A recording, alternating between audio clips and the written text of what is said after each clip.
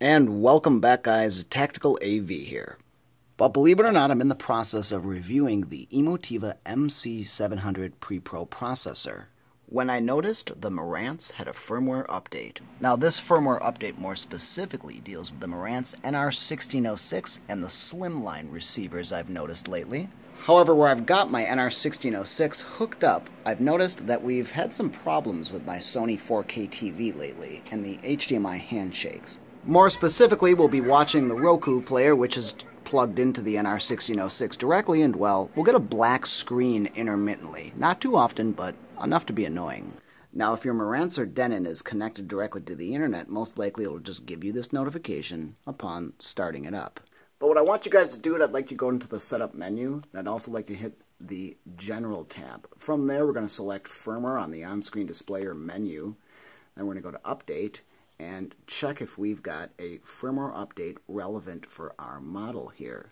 Keep in mind, guys, you can also just go to Marantz.com and actually select based on your specific model and serial number if there is an update relevant for your model. But lately we've got the DTSX feature upgrade as well as the Auro 3D Ultimate Feature Package upgrade. You can also go into the Notifications tab under the menu on your Marantz or Denon and have the Update and Upgrade features turned on. Like I said, I've been having problems with the screen turning on and off, specifically when using the Roku device.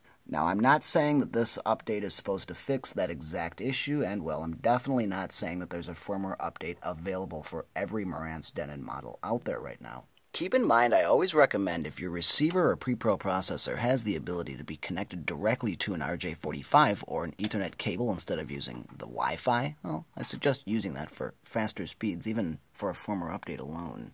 So this time I just happen to turn the receiver on and well, the update shows up. So this time we're going to go ahead and select update now. I'll give you guys an idea of exactly how long the specific update takes and well, more or less contact Marantz and try to get the lowdown on exactly what is involved with this update. But this one seems pretty involved as it's taking some time. But nonetheless, they usually specify a 10 minute download period of time.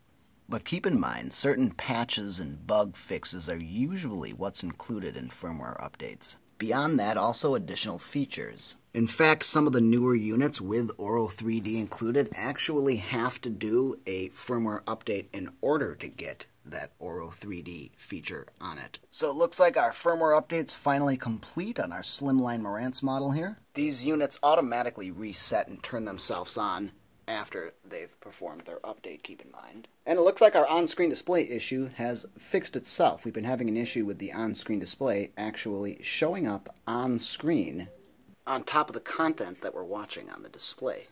In fact, what would happen is I'd hit something like info on the Marantz button here, and instead of the display switching itself off and actually going into the graphical user interface or on-screen display, we should see all that Roku information behind this black box here, as well as the volume display and eco settings.